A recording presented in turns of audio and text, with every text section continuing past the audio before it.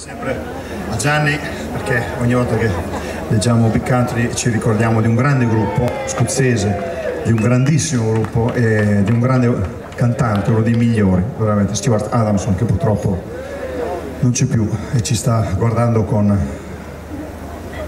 con Pierangelo, con Ivan, con, con, Augusto, con Dante, con tutte le persone che vorremmo qui, con le persone che sono andate d'accordo, con Fabrizio.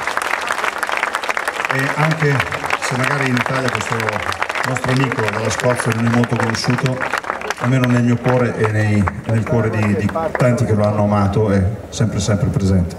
Grazie Stuart. Thank you so.